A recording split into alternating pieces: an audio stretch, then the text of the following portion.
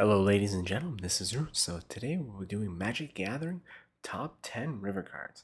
And now, at number 10, we're going to start with this list with nothing really fancy. It's Luxa River Shrine. So I didn't want to do any creatures. I really wanted to try to stick my best to River Alone cards. So as you can see, this one's from Amonkhet. It's a common going for just a whopping 6 cents on the market at the time of this video. Basically, you can gain 1 life, put a brick counter. You gain 2 life, activate this ability if there are 3 more brick counters. So Costs 3 mana and 1 to activate it. There's really nothing too special about this card, but I did have to put some river cards on here. So now, at number 9, we have You Come to a River. It's from Adventures in the Forgotten Realms. It's common going for 6 cents on the market.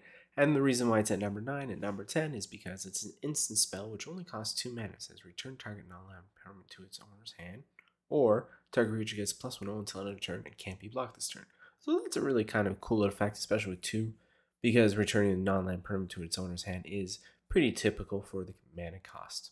So now, at number 8, we have Rushing River from Planeshift. It's a common going for 20 cents on the market at the time of this video. And I actually remember using this card quite a bit when Planeshift came out, but now it's just a garbage card. but it costs 3 mana with a kicker so sacrifice a land. So you may sacrifice a land in addition to any other cost as you play the spell. Okay.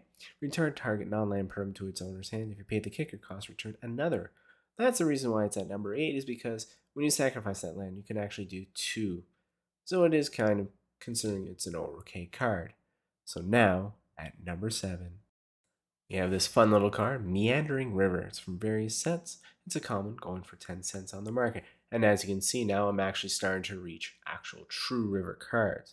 And basically, it comes in the battlefield tapped, add a plains or a water. Nothing too simple. It's a really cool card. I like the picture. And now, at number six, which I thought this one should deserve to be at number six. It's River Delta. It's an Ice Age rare, believe it or not, for $2.52 on the market. The reason why this is at number six and not number seven is because blue and black are more commonly used. Basically, it says if there are any depletion counters on River Delta, it does not untap during an untap phase at the beginning of upkeep. Remove a depletion counter. So add a island or a swamp, you put a depletion counter on. So it's a kind of like a cheap alternative if you wanted to get one of those two. But nowadays, I would not recommend this card because there's so many lands that can do this ability so much better. So now at number five, we have Bad River from Mirage being an uncommon for $2.70 on the market. And this one is a very unique one because it says it comes into play tap, sacrifice it, search your library for an island or a swamp card, and put that land into play. So it's not any land card, it's just an island or a swamp. And again, we're talking about river cards, so this is why it's actually pretty powerful at number five. So now, at number four, we have River of Tears. It's from various sets, being rare with an average price of $3.57 on the market.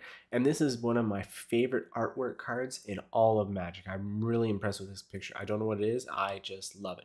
So it says tap it, add one to your mana pool for an island. If you played a land this turn, add a swamp to your mana pool instead. So you can really have fun with this card. It is not better than some, but again, with the river cards, this is why it's at number four. And again, I just love the artwork. So now at number three. Well, we got Underground River from various sets being rare with an average price of $10.87.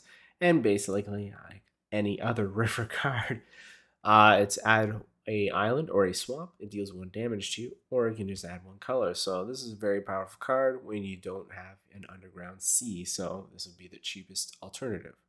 And now at number two.